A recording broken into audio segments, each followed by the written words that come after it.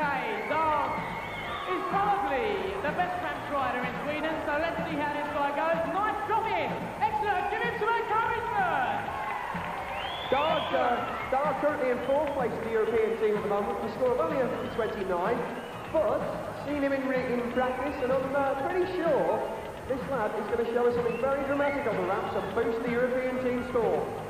Right, well, International BMX Beat, of course, is a first for TV freestyle. Gives us a chance to really check out how British and European uh, freestyle compares to the USA riders. Well, obviously, during this series, the action is going to be intense. Here is Dar with a drop-in.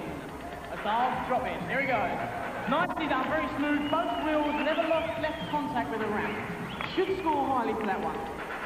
Dag not attempting anything radical, but um, very smooth in everything he does. Well, that's right. I mean, a lot of riders prefer to do tricks that they know they can definitely pull off.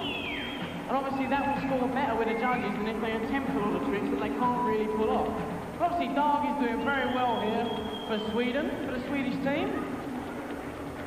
Remember that there is a team championship as well as an individual championship. At the end of the series, we'll have a team champion as well as an individual champion. That's right, the individual championships will work this way.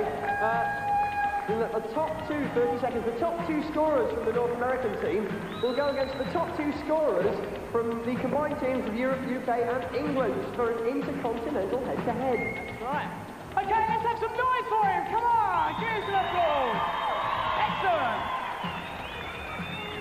Okay, considering freestyle isn't that old in Sweden, I mean, it's really doing very well.